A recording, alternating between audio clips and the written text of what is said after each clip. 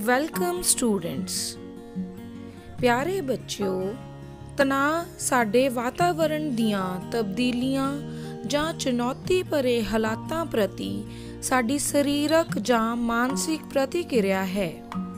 ਇਹ ਸਾਡੇ ਸਰੀਰ ਦਾ ਕੁਦਰਤੀ ਢੰਗ ਹੈ, ਜਿਸ ਨਾਲ ਅਸੀਂ ਘਰ, ਸਕੂਲ ਜਾਂ ਕਿਸੇ ਹੋਰ ਦਬਾਅ ਦਾ ਸਾਹਮਣਾ ਕਰਨ ਲਈ ਤਿਆਰ ਹੋ ਜਾਂਦੇ ਹਾਂ। ਤਣਾਅ ਸਾਡੇ ਰੋਜ਼ਮਰਰਾ ਦੇ ਜੀਵਨ ਦਾ ਇੱਕ ਹਿੱਸਾ ਹੈ। ਹਰ ਵਿਅਕਤੀ ਇਸ ਨੂੰ ਮਹਿਸੂਸ ਕਰਦਾ ਹੈ, ਚਾਹੇ ਉਹ ਵੱਡਾ ਹੋਵੇ ਜਾਂ ਬੱਚਾ। ਕੇਵਲ ਉਹਨਾਂ ਦੇ ਤਣਾਅ ਦੇ ਕਾਰਨ ਭਿੰਨ ਹੁੰਦੇ ਹਨ। ਸਾਡਾ ਵਿਦਿਆਰਥੀ ਜੀਵਨ ਵੀ ਤਣਾਅ ਤੋਂ ਮੁਕਤ ਨਹੀਂ ਹੈ। ਤੁਹਾਨੂੰ ਮੈਂ ਕੁਝ ਪ੍ਰਸਥਿਤੀਆਂ ਦਿੰਦੀ ਹਾਂ। ਤੁਸੀਂ ਸੋਚੋ ਕਿ ਤੁਸੀਂ ਉਸ ਸਥਿਤੀ ਦੇ ਵਿੱਚ ਕੀ ਸੋਚਦੇ ਹੋ? ਤੁਹਾਡੀਆਂ ਕੀ ਭਾਵਨਾਵਾਂ ਹੁੰਦੀਆਂ ਹਨ? ਕੀ ਪ੍ਰਤੀਕਿਰਿਆ ਹੁੰਦੀ ਹੈ? ਪਰਿਵਾਰਿਕ ਵਾਤਾਵਰਣ ਠੀਕ ਨਾ ਹੋਣ ਕਾਰਨ ਤੁਸੀਂ ਸਕੂਲ ਦਾ ਕੰਮ ਪੂਰਾ ਨਹੀਂ ਕਰ ਪਾਉਂਦੇ।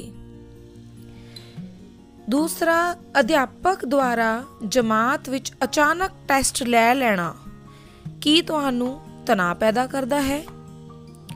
ਤੁਹਾਡੀ ਪ੍ਰੀਖਿਆ ਨੇੜੇ ਹੈ, ਪਰ ਤੁਸੀਂ ਤਿਆਰ ਨਹੀਂ ਹੋ। ਇਹ ਵੀ ਤਣਾਅ ਪੈਦਾ ਕਰੇਗਾ। ਤੁਹਾਡੇ ਪ੍ਰੀਖਿਆ ਵਿੱਚ ਘੱਟ ਅੰਕ ਆਏ ਅਤੇ ਅਧਿਆਪਕ ਨੇ ਤੁਹਾਡੇ ਮਾਤਾ-ਪਿਤਾ ਨੂੰ ਸਕੂਲ ਬੁਲਾਇਆ ਹੈ, ਤਾਂ ਤੁਹਾਡੇ ਮਨ ਵਿੱਚ ਕੀ ਚੱਲੇਗਾ? ਕੀ ਤੁਸੀਂ ਫਿਰ ਤਣਾਅ ਮਹਿਸੂਸ ਕਰੋਗੇ?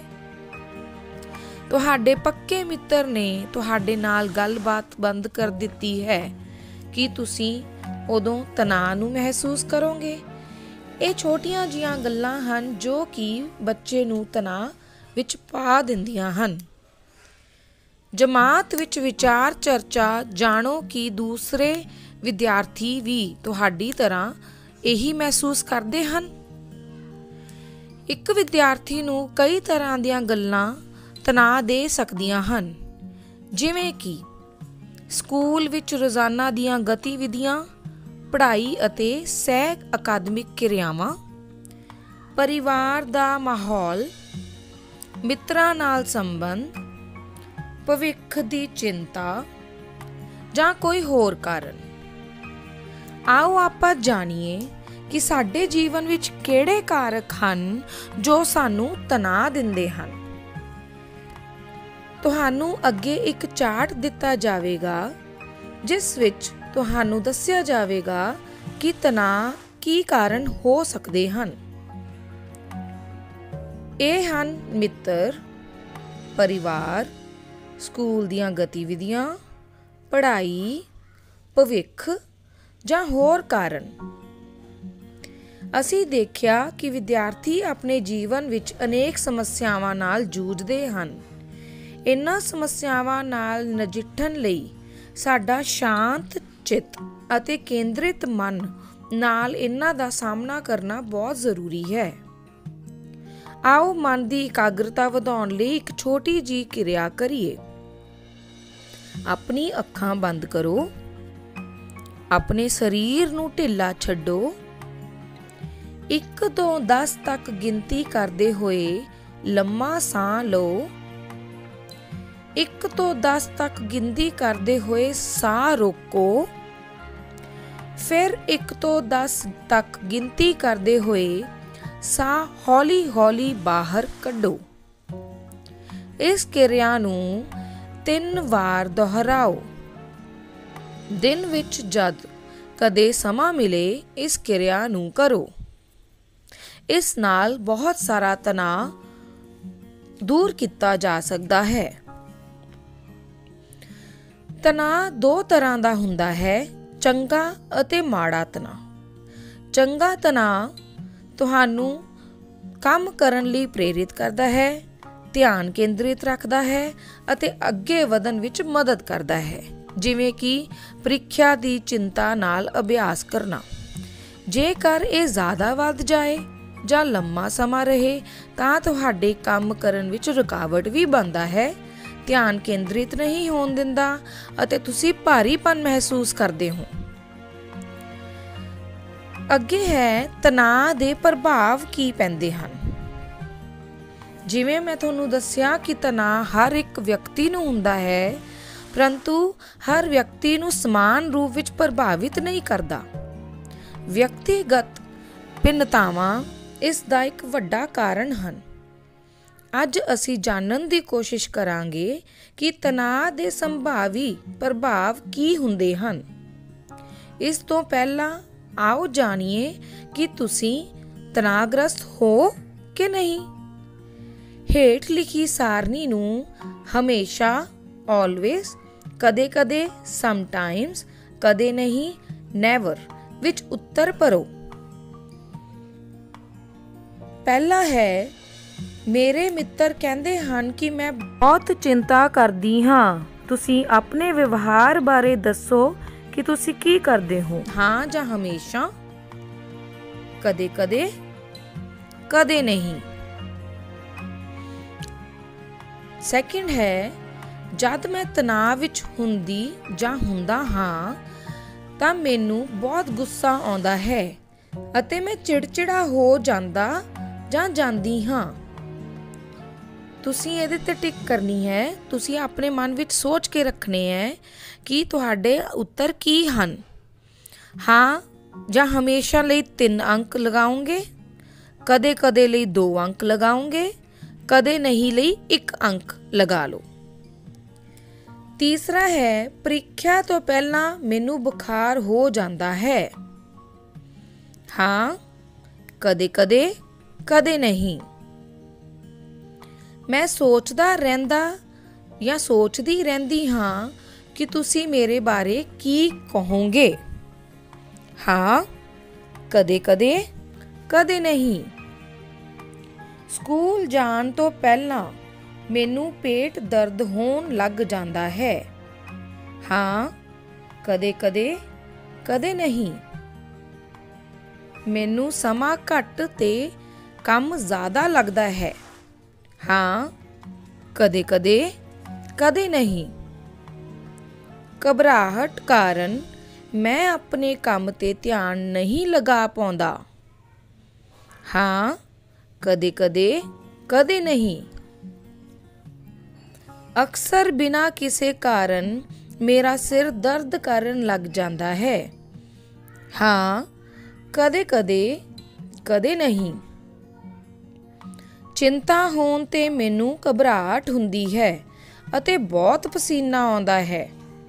ਹਾਂ, ਕਦੇ-ਕਦੇ, ਕਦੇ ਨਹੀਂ। ਮੈਨੂੰ ਭਵਿੱਖ ਦੀ ਚਿੰਤਾ ਰਹਿੰਦੀ ਹੈ। ਹਾਂ, ਕਦੇ-ਕਦੇ, ਕਦੇ ਨਹੀਂ। ਪ੍ਰੀਖਿਆ ਤੋਂ ਪਹਿਲਾਂ ਮੈਨੂੰ ਨੀਂਦ ਨਹੀਂ ਆਉਂਦੀ। ਹਾਂ, ਕਦੇ-ਕਦੇ, ਕਦੇ ਨਹੀਂ। ਅਧਿਆਪਕ ਨੂੰ ਪ੍ਰਸ਼ਨ ਸੁਣਾਉਣ ਲੱਗਿਆਂ ਮੈਨੂੰ ਚੱਕਰ ਆ ਜਾਂਦੇ ਹਨ। ਹਾਂ ਕਦੇ-ਕਦੇ ਕਦੇ ਨਹੀਂ। ਹੁਣ ਤੁਸੀਂ ਇਹਨਾਂ ਅੰਕਾਂ ਦਾ ਜੋੜ ਲਗਾਓ ਤੇ ਦੇਖੋ ਤੁਹਾਡੇ ਅੰਕ ਕਿੰਨੇ ਬਣਦੇ ਹਨ। ਇਹਨਾਂ ਅੰਕਾਂ ਤੋਂ ਤੁਸੀਂ ਅੰਦਾਜ਼ਾ ਲਗਾ ਸਕਦੇ ਹੋ ਕਿ ਤੁਹਾਡਾ ਤਣਾਅ ਦਾ ਪੱਧਰ ਕੀ ਹੈ। ਵੱਧ ਅੰਕ, ਵੱਧ ਤਣਾਅ ਦਰਸਾਉਂਦੇ ਹਨ ਅਤੇ ਘੱਟ ਅੰਕ ਘੱਟ ਤਣਾਅ ਦਰਸਾਉਂਦੇ ਹਨ। ਆਪਣੇ ਆਪ ਨਾਲ ਇਸ ਗੱਲ ਦੇ ਬਾਰੇ ਮਨ ਵਿੱਚ ਚਰਚਾ ਕਰੋ, ਮਨ ਵਿੱਚ ਸੋਚੋ, ਤੁਸੀਂ ਕਿੰਨੇ ਤਣਾਅਗ੍ਰਸਤ ਹੋ। ਤਣਾਅ ਸਾਡੇ ਵਿਵਹਾਰ ਅਤੇ ਸਰੀਰਕ ਅਤੇ ਮਾਨਸਿਕ ਸਿਹਤ ਉੱਪਰ ਬਹੁਤ ਅਸਰ ਪਾਉਂਦਾ ਹੈ। ਇਹ ਸਾਡੀ ਸੋਚ ਸ਼ਕਤੀ ਦੀ ਸਪਸ਼ਟਤਾ, ਪ੍ਰਭਾਵਸ਼ਾਲੀ ਢੰਗ ਨਾਲ ਕੰਮ ਕਰਨ ਦੀ ਯੋਗਤਾ ਨੂੰ ਘਟਾ ਦਿੰਦਾ ਹੈ। ਲੰਮੇ ਸਮੇਂ ਤੱਕ ਰਹਿਣ ਵਾਲਾ ਤਣਾਅ ਅਕਸਰ ਵਿਅਕਤੀ ਨੂੰ ਬਹੁਤ ਸਾਰੀਆਂ ਬਿਮਾਰੀਆਂ ਦਾ ਸ਼ਿਕਾਰ ਬਣਾ ਦਿੰਦਾ ਹੈ। ਵਿਦਿਆਰਥੀਆਂ ਵਿੱਚ ਆਮ ਤੌਰ ਤੇ ਇਹ ਲੱਛਣ ਦੇਖਣ ਨੂੰ ਮਿਲਦੇ ਹਨ। ਥਕਾਨ, ਗੁੱਸਾ, ਉਦਾਸੀ, ਚਿੜਚਿੜਾਪਨ, ਕੰਮ ਕਰਨ ਨੂੰ ਦਿਲ ਨਾ ਕਰਨਾ, ਲਗਾਤਾਰ ਇੱਕ ਵਿਚਾਰ ਦਾ ਚੱਲਦੇ ਰਹਿਣਾ, ਸਿਰ ਦਰਦ ਬਦਹਜਮੀ ਬੇਚੈਨੀ ਹੋਣਾ, ਚੱਕਰ ਆਉਣਾ, ਵੱਧ ਜਾਂ ਘੱਟ ਨੀਂਦ ਦਾ ਆਉਣਾ, ਭਾਰ ਦਾ ਵਧਣਾ ਜਾਂ ਘਟਣਾ, ਨੌ ਖਾਣਾ, ਦਿਲ ਦੀ ਧੜਕਨ ਵਧਣਾ, ਵੱਧ ਜਾਂ ਘੱਟ ਖਾਣਾ, ਘਬਰਾਹਟ ਹੋਣਾ, ਪਸੀਨਾ ਆਉਣਾ ਜਾਂ ਧਿਆਨ ਨਾ ਲਗਾਉਣਾ। ਆਓ ਜਾਣੀਏ ਕਿ ਤਣਾਅ ਨੂੰ ਕਿਵੇਂ ਦੂਰ ਕੀਤਾ ਜਾ ਸਕਦਾ ਹੈ। ਸਟ्रेस ਮੈਨੇਜਮੈਂਟ ਟਿਪਸ ਅਸੀਂ ਨੌਕਰੀ ਤੋਂ ਆ ਕੇ ਬਹੁਤ ਥੱਕ ਜਾਂਦੇ ਹਾਂ, ਤਾਂ ਸਾਨੂੰ ਆਪਣੇ ਆਪ ਨੂੰ ਤਣਾਅ ਤੋਂ ਮੁਕਤ ਰੱਖਣ ਲਈ ਰੈਸਟ ਕਰਨ ਦੀ ਬਹੁਤ ਲੋੜ ਹੈ। ਸਾਨੂੰ ਕੰਮ ਤੋਂ ਆ ਕੇ ਕੋਈ ਵੀ ਮਨੋਰੰਜਕ ਚੀਜ਼ ਦੇਖਣੀ ਚਾਹੀਦੀ ਹੈ, ਤਾਂ ਜੋ ਅਸੀਂ ਦੁਬਾਰਾ ਆਪਣੀ એનર્ਜੀ ਨੂੰ ਰੀਗੇਨ ਕਰ ਸਕੀਏ। ਅਗਰ ਸਾਨੂੰ ਡਿਪਰੈਸ਼ਨ ਫੀਲ ਹੁੰਦਾ ਹੈ, ਅਸੀਂ ਦੁਖੀ ਮਹਿਸੂਸ ਕਰਦੇ ਹਾਂ, ਤਾਂ ਸਾਨੂੰ ਯੋਗਾ ਮੈਡੀਟੇਸ਼ਨ ਕਰਨੀ ਚਾਹੀਦੀ ਹੈ। ਅਗਰ ਕੋਈ ਲੜਾਈ ਕਰ ਰਿਹਾ ਹੈ, ਤਾਂ ਸਾਨੂੰ ਕੋਸ਼ਿਸ਼ ਕਰਨੀ ਚਾਹੀਦੀ ਹੈ ਕਿ ਅਸੀਂ ਉਸ ਲੜਾਈ ਤੋਂ ਦੂਰ ਰਹੀਏ ਤੇ ਆਪਣੇ ਆਪ ਨੂੰ ਇਕਾਂਤ ਵਿੱਚ ਲਿਜਾ ਕੇ ਉਹਨਾਂ ਸਾਰੀਆਂ ਚੀਜ਼ਾਂ ਤੋਂ ਦੂਰ ਰੱਖੀਏ, ਜਿਹੜੀਆਂ ਸਾਨੂੰ ਤਣਾਅ ਪੈਦਾ ਕਰਦੀਆਂ ਹਨ। ਬੱਚਿਓ, ਕੋਸ਼ਿਸ਼ ਕਰਨੀ ਚਾਹੀਦੀ ਹੈ ਆਪਣੇ ਆਪ ਨੂੰ ਵਿਅਸਤ ਰੱਖਣ ਦੀ ਤਾਂ ਜੋ ਤਣਾਅ ਮੁਕਤ ਜੀਵਨ ਜਿਉਇਆ ਜਾ ਸਕੇ। ਸਟ्रेस ਮੈਨੇਜਮੈਂਟ ਲਈ ਬਹੁਤ ਜ਼ਰੂਰੀ ਹੈ ਆਪਣੀ ਆਪ ਨੂੰ ਇੰਜੋਏ ਕਰਨਾ। ਸਭ ਤੋਂ ਪਹਿਲਾਂ ਟਾਈਮ ਨੂੰ ਮੈਨੇਜ ਕਰਨਾ ਬਹੁਤ ਹੀ ਆਵਸ਼ਕ ਹੈ। ਯੋਗਾ ਕਰਨਾ ਸਾਡੇ ਲਈ ਬਹੁਤ ਜ਼ਰੂਰੀ ਹੈ। ਵਿਆਮ ਕਰਨਾ ਐਕਸਰਸਾਈਜ਼ ਕਰਨੀ ਬਹੁਤ ਜ਼ਰੂਰੀ ਹੈ ਸਾਨੂੰ ਆਪਣੀਆਂ ਹੌਬੀਜ਼ ਨੂੰ ਫੋਲੋ ਕਰਨਾ ਚਾਹੀਦਾ ਹੈ ਜੋ ਸਾਡਾ ਮਨ ਕਰਦਾ ਹੈ ਸਾਨੂੰ ਉਹੀ ਕਰਨਾ ਚਾਹੀਦਾ ਹੈ ਹਰ ਇੱਕ ਬੰਦਾ ਆਪਣੀ ਖੁਸ਼ੀ ਮਹਿਸੂਸ ਉਦੋਂ ਹੀ ਕਰਦਾ ਹੈ ਜਦੋਂ ਆਪਣੇ ਮਨ ਦੇ ਚਾਵਾਂ ਨੂੰ ਪੂਰਾ ਕਰੇ ਇੱਕ ਸੰਗੀਤਕਾਰ ਸੰਗੀਤ ਨੂੰ ਲਿਖ ਕੇ ਗਾ ਕੇ ਆਪਣੀ ਖੁਸ਼ੀ ਖੁਸ਼ੀ ਨੂੰ ਮਹਿਸੂਸ ਕਰਦਾ ਹੈ ਪੇਂਟਰ ਪੇਂਟਿੰਗ ਕਰਕੇ ਕੁਮਿਆਰ ਕੜੇ ਬਣਾ ਕੇ, ਡਾਂਸਰ, ਡਾਂਸ ਨ੍ਰਿਤ ਕਰਕੇ ਉਸੇ ਤਰ੍ਹਾਂ ਖਿਡਾਰੀ ਖੇਡ ਕੇ ਜਿਹੜੀ ਜਿਹੜੀ ਜਿਸ ਦੀ ਰੁਚੀ ਹੈ ਉਸ ਨੂੰ ਅਪਣਾ ਕੇ ਤਣਾਅ ਨੂੰ ਦੂਰ ਕੀਤਾ ਜਾ ਸਕਦਾ ਹੈ। ਫਿਰ ਹੈ ਸਾਨੂੰ ਕੁਦਰਤ ਦੇ ਵਿੱਚ ਰਹਿਣਾ ਚਾਹੀਦਾ ਹੈ। ਕੁਦਰਤ ਬਹੁਤ ਹੀ ਪਿਆਰੀ ਹੈ, ਉਹ ਸਾਨੂੰ ਤਣਾਅ ਨਹੀਂ ਹੋਣ ਦਿੰਦੀ। ਸਾਨੂੰ ਸਪਾ ਕਰਵਾਉਣਾ ਚਾਹੀਦਾ ਹੈ। ਸਾਨੂੰ ਕਾਉਂਸਲਿੰਗ ਕਰਨੀ ਚਾਹੀਦੀ ਹੈ ਆਪਣੇ ਤੋਂ ਵੱਡੇ ਕੋਲ ਜਾ ਕੇ। ਉਸ ਦੇ ਨਾਲ ਆਪਣੇ ਮਨ ਦੀਆਂ ਗੱਲਾਂ ਨੂੰ ਸਾਂਝਾ ਕਰਨਾ ਚਾਹੀਦਾ ਹੈ ਤਾਂ ਜੋ ਸਾਡੇ ਮਨ ਦੀਆਂ ਸਦਰਾਂ ਖੁੱਲ ਸਕਣ। ਸਾਨੂੰ ਸੰਗੀਤ ਦਾ ਸਹਾਰਾ ਲੈਣਾ ਚਾਹੀਦਾ ਹੈ।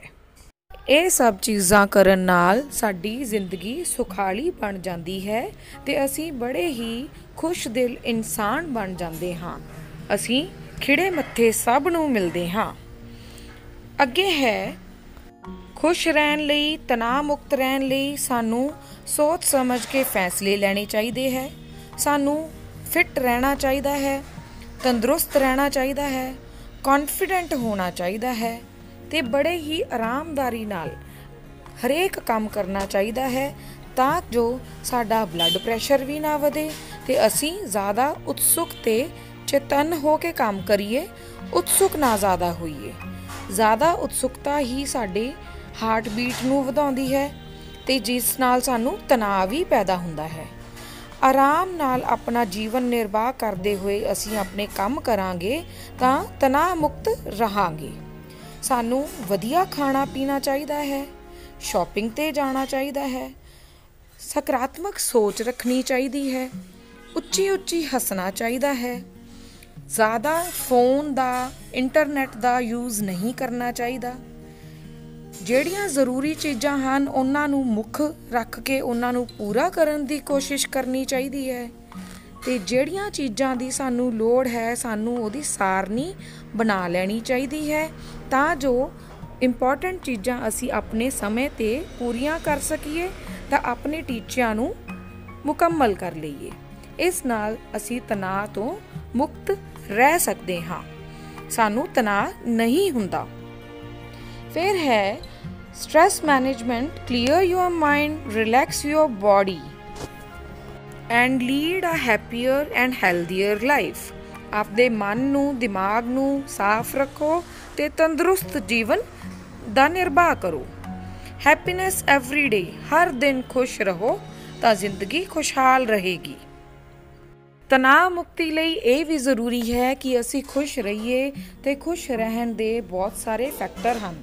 ਸਭ ਤੋਂ ਪਹਿਲਾਂ ਕਿ ਸਾਨੂੰ ਸ਼ੱਕ ਤੋਂ ਮੁਕਤ ਹੋਣਾ ਚਾਹੀਦਾ ਹੈ। ਸਾਨੂੰ ਕਿਸੇ ਤੇ ਜਾਂ ਆਪਣੇ ਆਪ ਤੇ ਸ਼ੱਕੀ ਨਹੀਂ ਹੋਣਾ ਚਾਹੀਦਾ। ਸਾਨੂੰ ਆਪਣੀ ਟਾਈਮ ਤੇ એનર્ਜੀ ਊਰਜਾ ਨੂੰ ਵੇਸਟ ਨਹੀਂ ਕਰਨਾ ਚਾਹੀਦਾ। ਸਾਨੂੰ ਭਵਿੱਖ ਦੇ ਬਾਰੇ ਜਾਂ ਪਾਸਟ ਦੇ ਬਾਰੇ ਨਹੀਂ ਸੋਚਣਾ ਚਾਹੀਦਾ, ਭੂਤਕਾਲ ਬਾਰੇ ਨਾ ਸੋਚ ਕੇ ਸਾਨੂੰ ਵਰਤਮਾਨ ਵਿੱਚ ਹੀ ਰਹਿ ਕੇ ਆਪਣਾ ਜੀਵਨ ਨਿਰਵਾਹ ਕਰਨਾ ਚਾਹੀਦਾ ਹੈ। ਸਾਨੂੰ ਕਿਸੇ ਹੋਰ ਤੋਂ ਜਾਂ ਆਪਣੇ ਆਪ ਤੋਂ ਵੀ ਜ਼ਿਆਦਾ ਉਮੀਦ ਨਹੀਂ ਕਰਨੀ ਚਾਹੀਦੀ, ਤਾਂ ਜੋ ਸਾਡੀਆਂ ਉਮੀਦਾਂ ਜੇ ਨਾ ਪੂਰੀਆਂ ਹੋਣ, ਤਾਂ ਉਹ ਤਣਾਅ ਪੈਦਾ ਨਾ ਕਰਨ। ਸਾਨੂੰ ਸੋਸ਼ੀਅਲ ਹੋਣਾ ਚਾਹੀਦਾ ਹੈ, ਸਮਾਜਿਕ ਪ੍ਰਾਣੀ ਬਣ ਕੇ ਰਹਿਣਾ ਚਾਹੀਦਾ ਹੈ, ਹੱਸਦੇ ਖੇਡਦੇ ਰਹਿਣਾ ਚਾਹੀਦਾ ਹੈ। ਦੂਜਿਆਂ ਦੇ ਮਜ਼ਾਕ ਸਹਿਣ ਦੀ ਤੇ ਦੂਜਿਆਂ ਨਾਲ ਮਜ਼ਾਕ ਕਰਦੇ ਰਹਿਣਾ ਚਾਹੀਦਾ ਹੈ।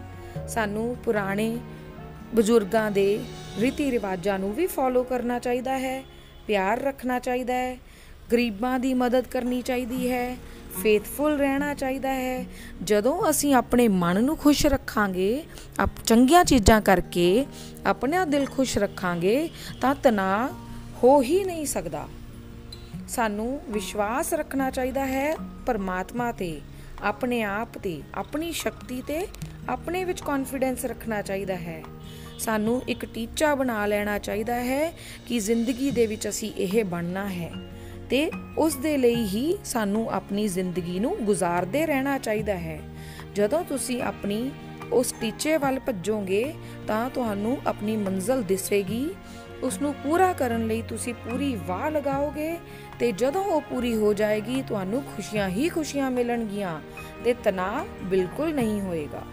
ਤੁਸੀਂ ਇਸ ਤਰ੍ਹਾਂ ਇਹਨਾਂ ਚੀਜ਼ਾਂ ਨੂੰ ਅਪਣਾ ਕੇ ਤਣਾਅ ਮੁਕਤ ਜੀਵਨ ਜਿਉ ਸਕਦੇ ਹੋ।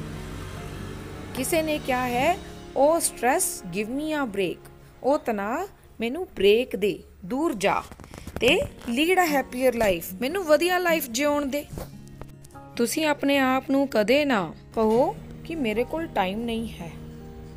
ਕਿਉਂਕਿ ਇਹ ਕਹਿਣ ਨਾਲ ਸਾਡੇ ਮਨ ਦੇ ਵਿੱਚ ਇੱਕ ਇਹੋ ਜੀ ਉਤੇਜਨਾ ਪੈਦਾ ਹੁੰਦੀ ਹੈ ਜੋ ਸਾਨੂੰ ਤਣਾਅ ਦਿੰਦੀ ਹੈ। ਸਾਡੀ ਐਫੀਸ਼ੀਐਂਸੀ ਨੂੰ ਕੰਮ ਕਰਨ ਦੀ ਕੁਸ਼ਲਤਾ ਨੂੰ ਘਟਾ ਦਿੰਦੀ ਹੈ। ਜਿੰਨੀ ਅਸੀਂ એનર્ਜੀ ਲਾਉਂਦੇ ਹਾਂ, ਉਹ ਸਾਨੂੰ ਬੇਚੈਨ ਕਰ ਦਿੰਦੀ ਹੈ। ਸਗੋਂ ਐਡਵਾਂਸ ਦੇ ਵਿੱਚ ਪਹਿਲਾਂ ਹੀ ਪਲਾਨ ਬਣਾ ਕੇ ਰੱਖੋ। ਤੁਸੀਂ ਕਹੋ ਕਿ ਸਾਡੇ ਕੋਲ ਬਹੁਤ ਸਮਾਂ ਹੈ ਤੇ ਮੈਂ ਲੇਜ਼ੀ ਨਹੀਂ ਹਾਂ। ਮੈਂ ਬਹੁਤ ਆਰਾਮ ਨਾਲ ਕੰਮ ਕਰਾਂਗਾ। ਇਹ ਗੱਲ ਨੂੰ ਬਾਰ-ਬਾਰ ਰਿਪੀਟ ਕਰੋ ਬਾਰ-ਬਾਰ ਦੁਹਰਾਓ ਕਿ ਮੈਂ ਫਿਜ਼ੀਕਲੀ ਫਿਟ ਹਾਂ, ਮੈਂ ਮੈਂਟਲੀ ਰਿਲੈਕਸ ਹਾਂ। ਕਿਉਂਕਿ ਜਿਹੜੀ ਚੀਜ਼ ਤੁਸੀਂ ਆਪਣੇ ਦਿਮਾਗ ਨੂੰ ਭੇਜੋਗੇ, ਉਹੀ ਚੀਜ਼ ਉਹੀ ਬਾਡੀ ਤੁਹਾਡੀ ਫੀਲ ਕਰੋਗੀ। ਲੰਬੇ ਲੰਬੇ ਸਾਹ ਲਓ। ਸਾਰੇ ਕੰਮ ਇੱਕ ਜਗ੍ਹਾ ਤੇ ਲਿਖ ਲਓ ਤੇ ਸਮਾਂ ਦੇ ਆਉਣ ਦੇ ਨਾਲ ਨਾਲ ਉਸ ਨੂੰ ਪੂਰੇ ਕਰਦੇ ਰਹੋ। ਕੰਮ ਪੂਰੇ ਹੁੰਦੇ ਜਾਣਗੇ, ਤਣਾਅ ਮੁਕਤ ਜੀਵਨ ਜਿਉਂਦੇ ਜਾਵਾਂਗੇ। ਇਹ ਬਹੁਤ ਜ਼ਰੂਰੀ ਹੈ, ਦਿਨ ਦੀ ਸ਼ੁਰੂਆਤ ਬਹੁਤ ਵਧੀਆ ਕੀਤੀ ਜਾਵੇ, ਜੇ ਅਸੀਂ ਤਣਾਅ ਮੁਕਤ ਜੀਵਨ ਜਿਉਣਾ ਹੈ। ਬਹੁਤ ਵਧੀਆ ਤਿਆਰ ਹੋਵੋ ਤਾਂ ਕਿ ਅੰਦਰੋਂ ਹੀ ਖੁਸ਼ੀ ਪ੍ਰਾਪਤ ਹੋਵੇ। ਜੋ ਚੀਜ਼ਾਂ ਤੁਹਾਨੂੰ ਦੁੱਖ ਦਿੰਦੀਆਂ ਹਨ, ਉਹਨਾਂ ਤੋਂ ਦੂਰ ਰਹੋ। ਲਗਾਤਾਰ ਕੰਮ ਕਰਨ ਤੇ ਜੇ ਤੁਸੀਂ ਸਟ्रेस ਮਹਿਸੂਸ ਕਰਦੇ ਹੋ, ਤਾਂ ਆਪਣੇ ਆਪ ਨੂੰ ਬ੍ਰੇਕ ਦਿਓ। ਪਾਲਤੂ ਜਾਨਵਰਾਂ ਨੂੰ ਪਿਆਰ ਕਰੋ।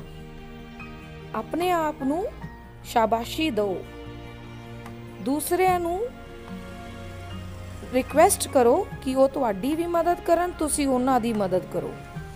ਖੁਸ਼ ਭਰਿਆ ਜੀਵਨ ਜਿਓ।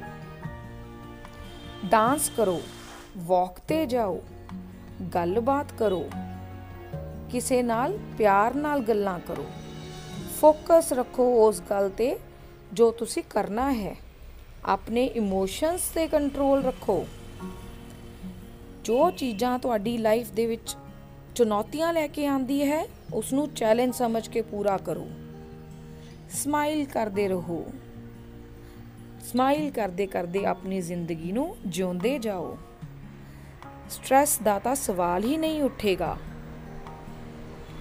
ਇੱਕ ਸਟੋਰੀ ਹੈ ਜਿਹਦੇ ਵਿੱਚ ਅਧਿਆਪਕ ਇੱਕ ਗਲਾਸ ਪਾਣੀ ਦਾ ਚੁੱਕ ਕੇ ਆਪਣੇ ਬੱਚਿਆਂ ਨੂੰ ਪੁੱਛਦਾ ਹੈ ਕਿ ਇਸ ਦਾ weight ਕਿੰਨਾ ਹੋਵੇਗਾ। ਬੱਚੇ ਜਵਾਬ ਦਿੰਦੇ ਹਨ 20 ਗ੍ਰਾਮ ਤੋਂ 500 ਗ੍ਰਾਮ ਤੱਕ ਵੱਖਰੇ ਵੱਖਰੇ ਜਵਾਬ ਆਉਂਦੇ ਹਨ।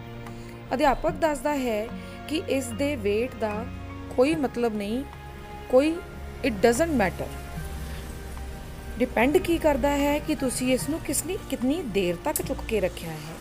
ਜੇ ਤੁਸੀਂ ਇਹਨੂੰ 1 ਮਿੰਟ ਤੱਕ ਚੁੱਕਿਆ ਹੈ ਤਾਂ ਇਸ ਨਾਲ ਕੋਈ ਨੁਕਸਾਨ ਨਹੀਂ ਹੋਏਗਾ, ਕੋਈ ਪ੍ਰੋਬਲਮ ਨਹੀਂ ਆਵੇਗੀ।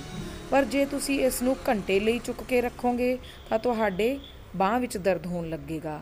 ਤੇ ਜੇ ਤੁਸੀਂ ਇੱਕ ਦਿਨ ਲਈ ਚੁੱਕ ਕੇ ਰੱਖੋਗੇ, ਤਾਂ ਤੁਹਾਨੂੰ ਐਂਬੂਲੈਂਸ ਨੂੰ ਬੁਲਾਉਣਾ ਪਵੇਗਾ। ਕਹਿਣਾ, ਕਹਿਣ ਤੋਂ ਭਾਵ ਇਹ ਹੈ ਕਿ ਜਿੰਨੀ ਦੇਰ ਤੱਕ ਤੁਸੀਂ ਕਿਸੇ ਬਰਡਨ ਨੂੰ, ਕਿਸੇ ਬੋਝ ਨੂੰ ਚੁੱਕੀ ਰੱਖੋਗੇ, ਤਾਂ ਉਹ ਵੱਧਦਾ ਹੀ ਜਾਵੇਗਾ, ਘਟੇਗਾ ਨਹੀਂ। ਭਾਵ ਜਿੰਨਾ ਸਟ्रेस ਤੁਸੀਂ ਚੁੱਕ ਕੇ ਰੱਖੋਗੇ, ਉਹ ਤੁਹਾਡੀ ਬਾਡੀ ਤੇ ਤੇ ਦਿਮਾਗ ਤੇ ਬਹੁਤ ਮਾੜਾ ਅਸਰ ਪਾਵੇਗਾ। ਜਿਵੇਂ ਤੁਸੀਂ ਇੱਕ ਗਲਾਸ ਚੁੱਕਿਆ ਤੇ ਉਹਨੂੰ ਜੇ ਰੱਖ ਦਿੱਤਾ, ਤਾਂ ਉਹ ਸਾਡੇ ਜ਼ਿੰਦਗੀ ਤੇ, ਸਾਡੇ ਦਿਮਾਗ ਤੇ, ਸਰੀਰ ਤੇ ਕੋਈ ਅਸਰ ਨਹੀਂ ਪਾਵੇਗਾ। ਉਸੇ ਤਰ੍ਹਾਂ ਹੀ ਅਗਰ ਤਣਾਅ ਹੁੰਦਾ ਹੈ, ਕੰਮ ਕਰਦੇ ਹੋਏ, ਤਾਂ ਜਦੋਂ ਅਸੀਂ ਘਰੇ ਵਾਪਸ ਆਉਂਦੇ ਹਾਂ, ਤਾਂ ਉਦੋਂ ਸਾਨੂੰ ਸਾਰਾ ਤਣਾਅ ਬਾਹਰ ਛੱਡ ਕੇ ਆਉਣਾ ਚਾਹੀਦਾ ਹੈ। ਫੈਮਿਲੀ ਇੱਕ ਅਜਿਹੀ ਚੀਜ਼ ਹੈ ਜੋ ਸਭ, ਸਾਰੇ ਦੁੱਖਾਂ ਨੂੰ ਦੂਰ ਕਰ ਦਿੰਦੀ ਹੈ। ਘਰੇ ਆਂਦਿਆਂ ਹੀ ਸਾਨੂੰ ਆਪਣੇ ਬੱਚਿਆਂ ਦੇ ਵਿੱਚ, ਆਪਣੇ ਮਾਪੇ ਦੇ ਵਿੱਚ ਰੁੱਝ ਜਾਣਾ ਚਾਹੀਦਾ ਹੈ ਤੇ ਉਹਨਾਂ ਦੀ ਖੁਸ਼ੀਆਂ ਦੇ ਵਿੱਚ ਆਪਣੀ ਖੁਸ਼ੀ ਤੇ ਆਪਣੀ ਖੁਸ਼ੀਆਂ ਜਾਂ ਗਮੀਆਂ ਵੀ ਉਹਨਾਂ ਨੂੰ ਦੱਸਣੀਆਂ ਚਾਹੀਦੀਆਂ ਹਨ ਤਾਂ ਜੋ ਖੁਸ਼ੀਆਂ ਭਰਿਆ ਜੀਵਨ ਜਿਉ ਸਕੀਏ। Thank you God bless you all with a happy life and healthy one thank you so much